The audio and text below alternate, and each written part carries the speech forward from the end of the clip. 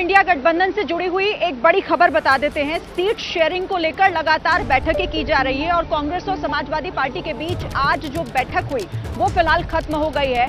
और इस बैठक में क्या कुछ हुआ, वो भी जल्दी से आपको बता दूँ। देखिए, समाजवादी पार्टी के जो नेता हैं रामगोपाल यादव, उनकी तरफ़ से कहा गया है कि बैठक जो है, उसमें काफ़ी कुछ तय हुआ। लेकिन अभी आने वाले समय में और भी चीज़ें तय होंगी। उन्होंने एक बड़ी बात ये कही कि आधा रास्ता साफ़ हो गया है। आधा रास्ता तय हो गया है। सुनिए जरा, क्या कहा है?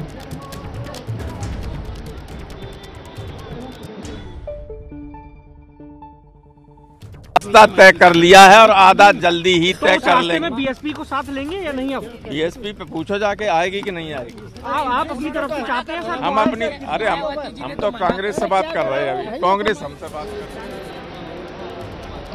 तो आधा रास्ता तय हो गया है। इस बात के मायने क्या क्या कुछ और जानकारी इस मीटिंग को लेकर हमारे पास है? सीधे रुक करेंगे हमारे सहयोगी दीपक रावत हमारे साथ जुड़ गए। दीपक, जल्दी से जानकारी दीजिए, क्या हुआ आज बैठक में? आधा रास्ता तय मतलब क्या इसका? जी श्रीन, देखिए, दूसरी बैठक थी समाजवादी पार्टी के साथ कांग्रेस की, जब सीटों पर बंटवारे को लेकर चर्चा हुई है। दो घंटा बैठक चली है, चार बजे शुरू हुई थी।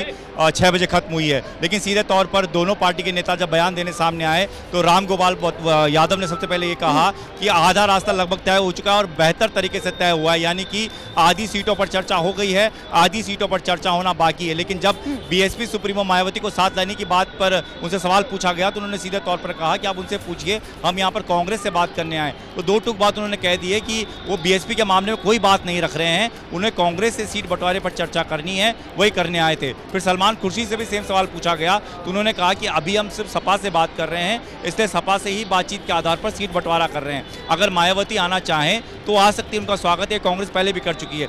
तीसरी इंपॉर्टेंट बात जो सलमान खुर्शी से पूछी गई कि अगर कई मामला फंसता है तो अखिलेश यादव से भी क्या बैठक कर, कर बातचीत की जाएगी? तो इस पर उन्होंने सीधे तौर पर कहा कि अभी तक चीज़ें बहुत पॉजिटिव लेवल पर चल रही हैं। अगर मामला बिगड़ता है तो आप नज़र रखिएगा दीपक। रोकती हूँ आपको। शुक्रिया इस जानकारी के लिए। जैसे ही घड़ी का काटा दोपहर ढाई पे आए बबीता जी का दिल सास बहू साजिश के लिए मचल जाए।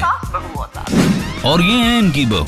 पूरे दिन ऑफ़िस की टेंशन हो जाए गॉन जब ये करें अपना फेवरेट शो फ्री टाइम पे ऑन इनकी तरह, आप भी देखें अपना फेवरेट शो अपने टाइम पर. और डाउनलोड कीजिए एबीपी लाइव ऐप अपने स्मार्ट टीवी पर.